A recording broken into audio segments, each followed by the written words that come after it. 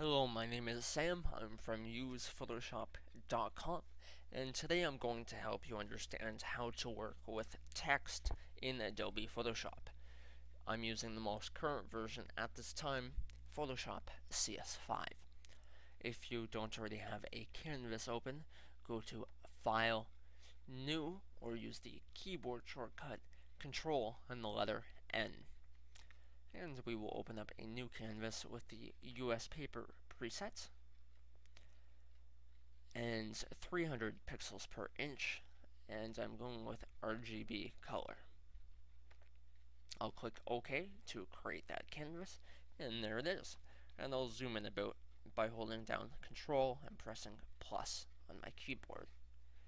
The text tool in Adobe Photoshop is located fourth from the bottom on the right hand side of the tools window which if you don't already have open you can find by going to window tools and opening up the tools window here. Once again fourth from the bottom and it may be hiding behind the vertical type tool the horizontal mask tool or horizontal type mask tool the vertical type mask tool we won't cover any of those in this, uh, but we will in other videos. If any of those are selected instead of the horizontal type tool, simply left click, hold down, you will see this menu appear and you can select the horizontal type tool. The keyboard shortcut is the letter T, meaning if I'm using another tool and I wanted to use the horizontal type tool, simply by hitting the letter T on my keyboard, I will be taken back to that tool. Let me show you how it works. First, I will simply click anywhere on my canvas to create a start point, and you will see a flashing line appear. And now I can type in. And this is like any other text editor up until this point anyways. And we can of course edit that, we can write as much as we want. We can press enter to skip down to the next line but uh, I'll undo that. And I'll go back to the move tool here, and we can of course move this around. This has created a separate layer for this text. If you don't know how to use layers already, I've created a separate video to help you do that. And we can move this around. Um, but what I'm going to really look at in this tutorial is the different ways we can change the text in Photoshop. I'm going to do this using a couple windows, which I already have open. But if you don't, you can find by going to Window, and we want the Paragraph window open. And I'll open that up. And there that is. And we will also want the Character window open, which I already have open over here. But you can find by going to Window, Character. And I'll open that up and we can see our two windows right there. Now there are several different ways uh, we can change our text.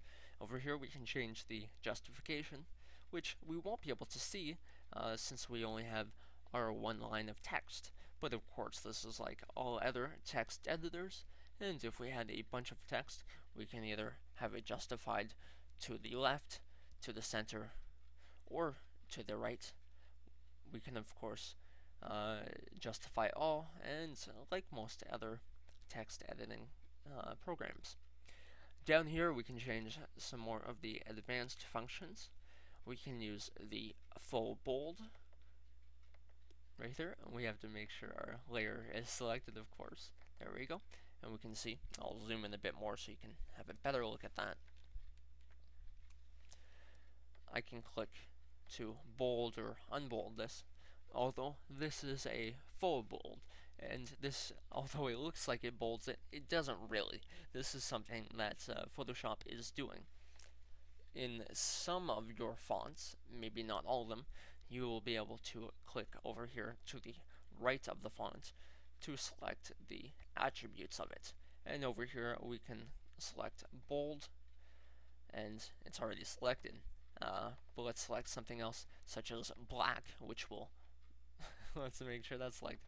Uh, we can select bold, which will make it bold, or we can select black, which will make it even bolder. although you may not have these options depending on your font. But this one that I'm using, Myriad Pro, has several different options we can select from. We can change the size by clicking on this drop down box and selecting a predefined size, or we can click and drag here to change the size. Over here, we can find the leading, which again you cannot see, but I'll create a separate line so we can see what this does. And you will see when I change this now, it changes the space between the lines. Here we can change the tracking, which we can set to 10. You can't see much of a change there, but if I set it to 200, you can see a quite obvious change. And what it's changing is the space in between the letters going horizontally. And of course I can change this. I can make the letters very close together or very far apart. Down here we can change the attributes of the font itself. We can scale them vertically to make the text taller, or we can make it shorter if we want. We can also stretch out the width of this text. And of course here we can change the color of the text. And down here, as I touched on before, are some other options, such as the faux bold, and the faux italics. Here we have all caps, which will change your text to all caps. Right here, we have small caps, which will change it to caps but keep the justification of the capital letters and the lowercase letters. Here we can click on superscript, which is useful if you're writing in a date and you want to write in the th after a number. For example, if I get rid of this, we can write in the 17th. We can select this and make that smaller up in the corner. We can of course also do the opposite, subscript, which will sink the text down to the bottom and I'll show you this by clicking that and you will see that it drops the text down. We can also underline the text by clicking here to underline all the text or we can click this to strike through all the text. So there's a very quick overview of how to use some of the features with text in Adobe Photoshop I'm Sam from usephotoshop.com.